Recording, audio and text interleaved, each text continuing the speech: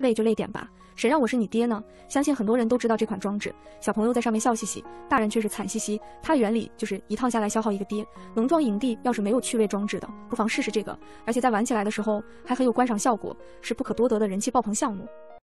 将这个八卦坑放置在农庄景区里面，简直不要太合适了。在地面上挖出一个深约三米的坑，打造成八卦的形状，游客下入坑内要沿着圈边一直跑才能上去。要是没有技巧的话，可能还会跑回原地。要是让你去玩的话，你是在坑底还是坑外呢？石槽竟然也能做火锅！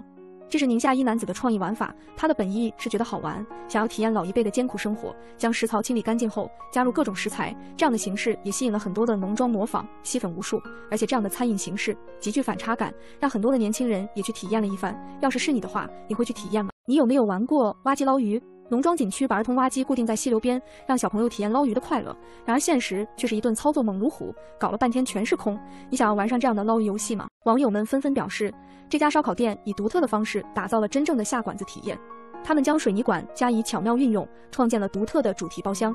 这些包厢内装有风扇和孔灯，在外围还点缀上了灯串，营造出一种独特而引人注目的氛围。对于农庄营地等场所来说，如果想要实现差异化经营，不妨考虑引入这种创意，为游客带来与众不同的体验。通过在水流中打造用餐区，让游客在用餐的同时也能够体验到清爽的感觉。不过在这种氛围下，是否需要担心被水流冲？只要心中有海，哪里都是马尔代夫。在卡车的车斗铺上塑料布，放满水，利用车辆前后移动，很有冲浪的快感。这种水上餐厅成为爆点，农场有大流水的可以试试，在水面上撑起卡座，吃饭如同漂浮在水中，享受美味佳肴的同时，又可以欣赏美景。因其独特的用餐环境，导致其很受游客的欢迎。这究竟是足球还是台球？他们将足球和台球的玩法结合，玩的时候是踢足球，不过规则却是台球的规则。这种新奇的玩法，让很多人都想要去尝试一下。